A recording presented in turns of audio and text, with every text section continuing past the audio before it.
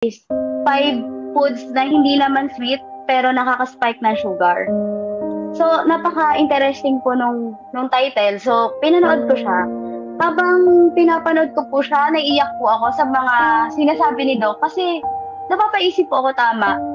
Tapos meron po talagang um, sinabi si Doktor na sobrang nag-caught po ng, ng attention ko nung sinabi niyang in-address po niya sa mga diabetic. Pero hindi ko na po natandaan yung mismong sentence or phrase. Pero ang idea po is those mga diabetic, hindi ba kayo nagtataka? 10 years, 5 years na nagagamot, nasunod kay doc.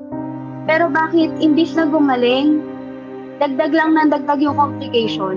Sobra akong na-hurt doon na oo nga, kasi nung time na yun po, addition pala na anxiety na din po ako sa hindi ko alam na dahilan. So parang gusto ko na i-end yung buhay ko ng time na yon pero inisip ko yung family ko kasi wala namang reason pero may sakit lang ako na, na buhay pa naman ako. So tama si Doc. That time po, nung napanood ko siya, inaral ko the next day. Hindi ako nakatulog nung gabi yun kaya isip na, oo, tama, tama si Doc. Sinulat ko po lahat ng foods, sinek ko kung ano ba yung yung yung yung mali sa ginagawa ko. Nakita ko po lahat. So lahat, lahat ng pagkain, lahat po ng ginagawa ko is mali sa loob ng 15 years. So, unti-unti, sinubukan ko po, nagtanong-tanong ako tungkol sa diet na, na ito. Kasi meron po talaga mga tao nagkikito. Matagal ko nang naririnig, kaso sinadjust ko siya doon sa doctor ko dati. Kaso nagalit po siya kasi bibigyan ko daw po ng sakit yung puso ko. Kasi more fats, puro meat, wala daw gulay, bakit ganun. So, naniwala ako kasi noong time na yun, 20s pa lang po ako.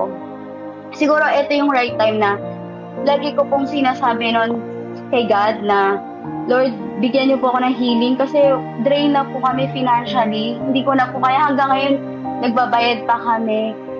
May mga anak po ako, tatlo. Alam namang ibuhos ko na lang yung yung yung kita ng asawa ko para na lang po sa sa paggagamot ko.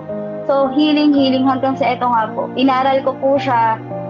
Tapos, yung isa ko pong relative na luckily naka low carb na po pala. Silent, ano po siya, low carber na sarili lang din po, tinuruan na ako, panoorin mo to si Doc Grace, add mo si Doc Bright, add mo si Miss I. Lahat po ng naka-advocate ng DOCAR, pina-add po niya, sabi niya, aralin mo, gawin mo sa sarili mo, wag mo aalisin ang gamot mo. Intayin ko na po yung diabetology ko.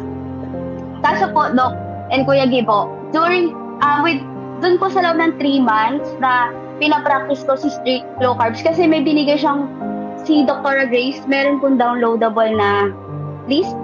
Nandun po ako sa safe list. Kasi ayun yung feeling ko na tatry ko muna. Safe list, tapos since hindi naman na po talaga ako nag-rice, naging madali po sa akin yung issue sa rice. Pero sa tinapay, sa pasta, sobrang nahirapan po ako. Pero pinilit ko po na, ayun po, hanggang sa feeling ko, susuko na po ako. Tapos sabi po nung relative ko nga po, wag mong gawin yan as punishment. Wag may punishment yan kasi hindi siya magiging sustainable. Hindi ka magiging consistent. Huwag ka mag-fasting muna hanggat hindi sinasabi ng katawan mo na ready ka na. Gawin mo yan, ikain mo pag gutom ka, as long as nasa low carb.